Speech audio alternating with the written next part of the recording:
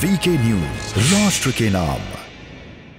नमस्कार, मैं अमन राव, आपका स्वागत है वीके न्यूज़ में। Hash tag boycott Hyundai hashtag boycott Pizza Hut hashtag boycott KFC Twitter पर ट्रेंड कर रहा है। वजह है एक ट्वीट जिसमें कश्मीर की आज़ादी की मांग की गई।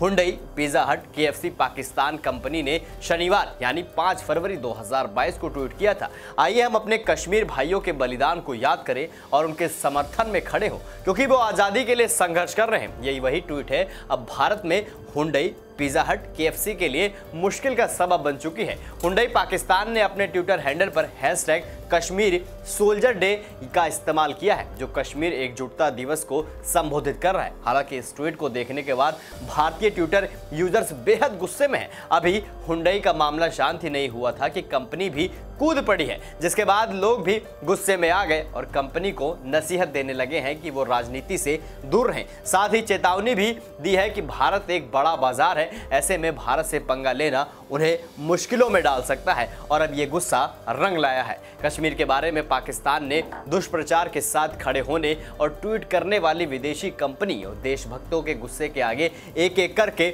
घुटने टेक रही है। पहले कार बनाने वाली हुंडई ने अपने पाकिस्तानी हैंडल से किए गए ट्वीट पर खेत जताया। फिर फ्राइड चिकन बेचने वाली कंपनी केंटुकी फ्राइड चिकन मतलब के ने पाकिस्तान में अपने हैंडल से किए गए ट्वीट से पल्ला झाड़ लिया और नामी पिज्जा ब्रांड पिज्जा हट ने भी कश्मीर पर पाकिस्तान से सुर से सुर मिलाने वाले अपनी पाकिस्तानी हैंडल के ट्वीट से किनारा कर लिया है। इस तरह विदेशी कंपनियों के ज़रिए भारत विरोधी जो साजिश पाकिस्तान ने रची थी, वो फेल हो गई है। पिज्जा हट ने अपने बयान में कहा है कि वो सोशल मीडिया पर जारी एक पोस्ट का समर्थन नहीं कर रहे और ना ही उसमें लिखे विचारों का सही मानते हैं। कंपनी ने लिखा है कि वो भारत के भाई बहनों की सेवा करने और उनके इज़्ज़त देने के लिए अपने संकल्प को पूरा करना है। बता दें कि पिज्जा हट की पाकिस्तानी हैंडल से कश्मीर सॉलिडेटरी पर पाकिस्तान की कश्मीर पर प्रोपेगेंडा का समर्थन करते हुए ट्वीट हुआ था। ये ट्वीट भी उस हैंडल से ट्वीट डिलीट कर दिया गया। इससे पहले मल्टीनेशनल फ़ूड चेन के ने भी अपने पाकिस्तानी हैंडल से कश्मीर पर किए गए ट्वीट पर माफ़ी मांग ली थी। बता दें कि देशभक्तों के गुस्से का फूटने का सिलसिला उस वक्त शुरू हुआ था, जब दो दिन पहले कोरिया की कार कंपनी हुंडई और किए गए ट्वीट सामने थे।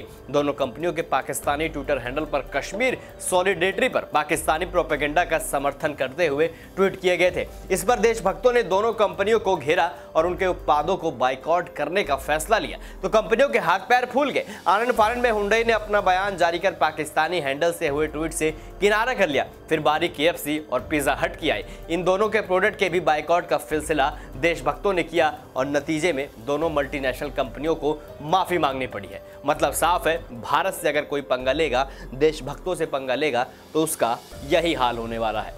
अब आपकी क्या राय इस पूरी खबर को लेकर? हमें कमेंट सेक्शन में कमेंट करके ज़रूर बताइए। और ऐसी तमाम बड़ी खबरों को देखने के लिए देखते रहिए वीके न्यूज़ राष्ट्र के नाम।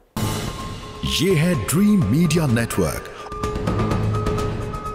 और आप देख रहे हैं देश का पहला 24 four by seven digital news channel VK news राष्ट्र के नाम।